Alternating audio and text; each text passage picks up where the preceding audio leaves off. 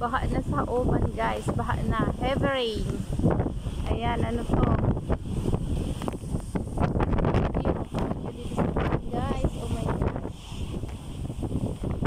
Ito yung kaganapan dito.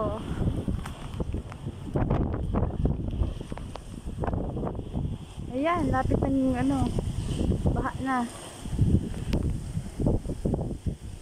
Uulan at Kanina pa tong ano, madaling araw. Madaling araw nagsimula yung ulan kagabi. Ay kanina madaling araw. Pala.